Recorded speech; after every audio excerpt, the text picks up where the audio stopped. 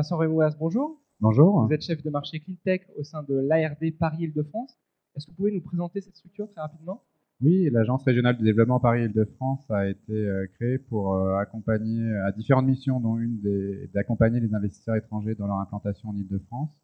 Nous conduisons aussi un, un projet d'accompagnement des PME franciliennes qui s'appelle Paris Région Entreprise et nous avons d'autres activités comme la promotion. Euh, vous savez que l'Île-de-France est une des zones qui accueille le plus d'événements professionnels et nous faisons donc la promotion des événements professionnels à l'international, comme de des grands salons comme Polytech où nous sommes aujourd'hui qui accueillent beaucoup de délégations étrangères.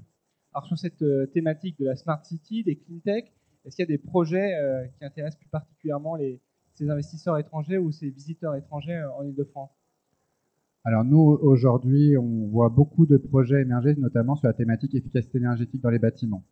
Euh, ils s'intéressent à l'île de France parce que l'île de France est une belle vitrine, mais pas que. On a aussi une forte densité de, bâtiments euh, sur notre territoire, euh, sur la zone urbaine, qui sont à la fois du résidentiel vertical, de la maison pavillonnaire, des bâtiments tertiaires et des bâtiments industriels. Donc pour eux, c'est un bon moyen de tester aussi leur technologie avec toute la diversité qu'offre l'île de France en termes de bâtiments des projets un peu symboliques comme euh, euh, ici Grid euh, ou des projets en matière de mobilité comme Autolib. Est-ce que ce sont des choses qui recueillent l'intérêt de ces, entreprises et de ces visiteurs étrangers? Alors sur les visiteurs étrangers, c'est sûr que des projets comme Autolib sont, sont des très belles vitrines.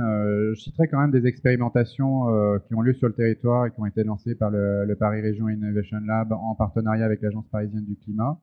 Euh, qui accueille aussi des entreprises étrangères. Euh, on a euh, aussi l'expérimentation qui est en cours sur les voies sur berge, sur l'optimisation de l'éclairage public, qui est fait avec des acteurs français, franciliens, mais aussi américains. Donc tout ça pour dire que les expérimentations qui se font aujourd'hui en Ile-de-France sont ouvertes aussi aux acteurs étrangers. Et nous, une de nos missions, c'est justement de parler de, bah, de, ces appels à projets pour que des, acteurs étrangers qui ont un, certain savoir-faire peuvent euh, puissent pardon, euh, venir expérimenter en Ile-de-France. Il y a les projets, puis plus largement, il y a un savoir-faire avec euh, des centres d'enseignement, des pôles de compétitivité. Il y a une grande richesse sur le territoire francilien autour de ces sujets.